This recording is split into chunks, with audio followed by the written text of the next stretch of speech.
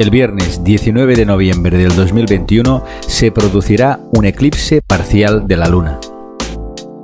Aunque no es total, la sombra de la Tierra cubrirá más del 97% de la Luna y provocará un tono rojizo de la misma.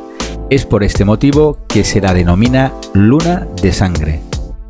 Este eclipse será el más largo de todo el siglo ya que durará 3 horas y 28 minutos. Será completamente visible en México, Estados Unidos y Canadá, además de Centroamérica, Colombia, Ecuador, Venezuela, Perú, Bolivia, Chile y la mitad del territorio de Argentina y Brasil.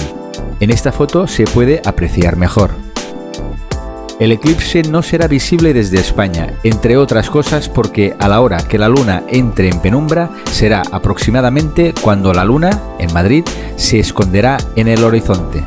El eclipse empezará a las 0002 del 19 de noviembre, hora de México. En este momento la luna entrará en la penumbra y comenzará a oscurecerse gradualmente.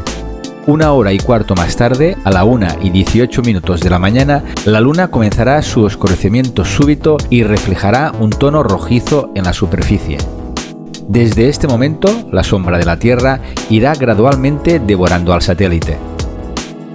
A las 2 de la mañana ya habrá llegado a cubrir un 50%.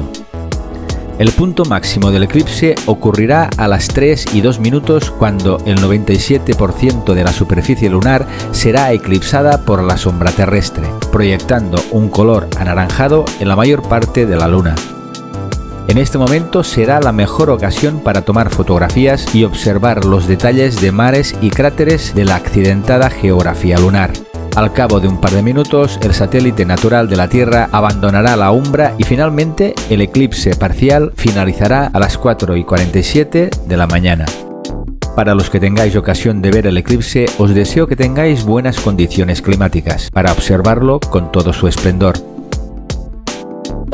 Si te ha gustado el vídeo, dale al like, suscríbete y activa la campanita para estar al tanto de próximos eventos. Un saludo.